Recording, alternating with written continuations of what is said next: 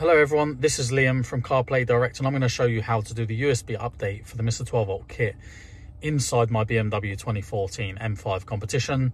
Um, obviously this update process is exactly the same across all Mr 12 volt models, the P2000 series and obviously you use the USB that is on the main Mr 12 volt power harness. Just for the sake of explaining, my USB cable from the harness has been run down the center uh, console tunnel um, to an extension cable, obviously, which as you can see, I have the USB ready to plug in. Um, so what you want to do is you want to go to the main Mr. 12 volt menu.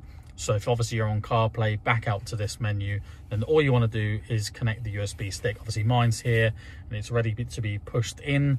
Um, this is, I think, a 32 gigabyte stick. So anything between 8 gig and 32 gig is good. Uh, the larger the USB stick, you may need to partition it uh, but I will show you how to load the files on in another video. But I'm just now going to pop the USB stick in and you should see a little box pop up. And as you can see, this will now search for configuration files on the USB stick. And as you can see, it's found them successfully and it's asking me to restart. So obviously I'm going to use my controller here to uh, actually restart by pressing OK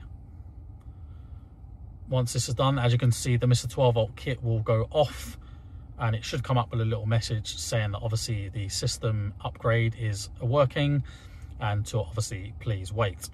Um, I did this the other day so I'm, I'm, doing this again for the sake of this video but this part took around 60 seconds for myself. So once the system upgrade is done you'll see actually reboot and it will come up with the Mr 12 volt logo and then obviously it should boot into the system as normal as you can see there and then you'll see another box pop up. I think this before took around 10 to 15 seconds to pop up for me. Yep it's just come up. So factory configuration file found. Do you wish to upgrade and you let the actual timer count down? Takes a little while and obviously it will come up with the message that it's successful. So I'm just going to stay on the video for you guys to see exactly what it does because you will need to follow exactly the same process there as you can see. So as you can see it was successful. At this point obviously you need to remove the USB so I'm going to do that now. And then you need to go to restart.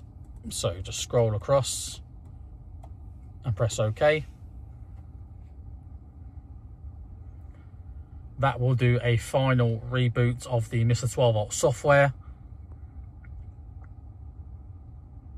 I'll just stay on the video just so you guys can be familiar with the process. And as you can see, you know when it's successful because this icon here will change from CarLife to Android Auto.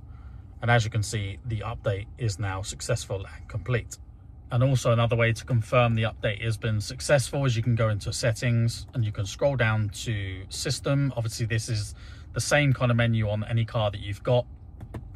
And in here you'll see five lines software, hardware, system, Bluetooth, MCU, and that will obviously confirm all five are present and the update is successful.